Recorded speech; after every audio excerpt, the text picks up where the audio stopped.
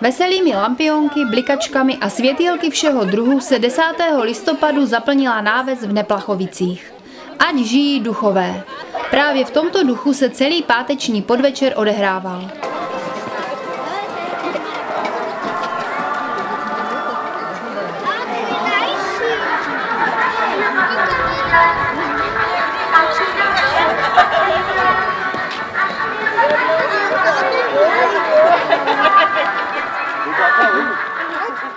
Nazdobené a rozsvícené neplachovské zahrady i hudba do kroku provázely průvod až k místnímu zámku.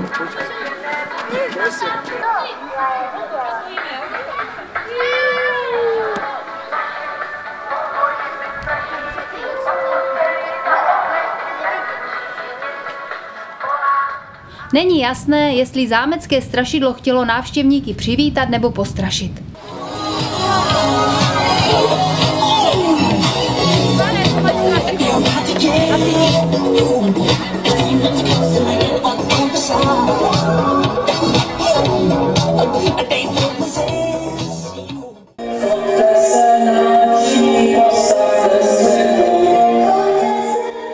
Osvětlené terase pro změnu zase přivítal všechna světýlka DJ Holub a malý skřítkové s Leontínkou.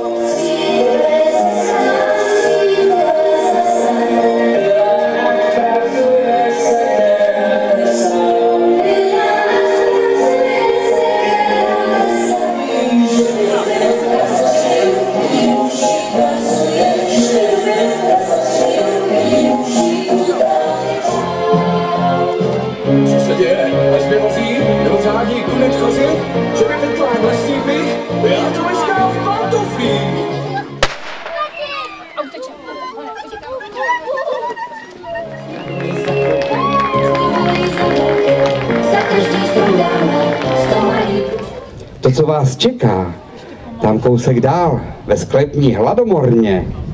Všichni přítomní si mohli svou odvahu vyzkoušet v zámeckém sklepení, kde na ně kromě pavouků a sklepních strašidel čekal rytíř Brtník z Brtníkova. Na to. Rytíř, rytíř vrtník z vrtníků. Tak jste to zvládli, tu cestu dalekou? Na nás krásný hrad a zámek Vrtníkov? Ano? A tady máte za úkol se nám podepsat, tak mám tady památku. to.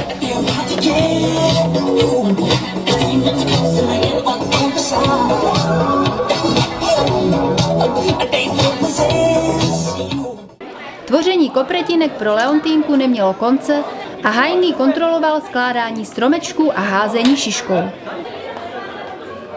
Jak už to v podzimních měsících bývá, nesměl chybět teplý čaj na zahřátí a k čaji něco chutného k zakousnutí. Na terase pokračovala zámecká diskotéka. Nejen horký čaj, ale i tanec zahřáli vyznavače novějších i starších diskotékových hitů. A tak snad páteční pozdní odpoledne potěšilo nejen milovníky duchů a strašidel. Z Neplachovic Lenka Gorčicová.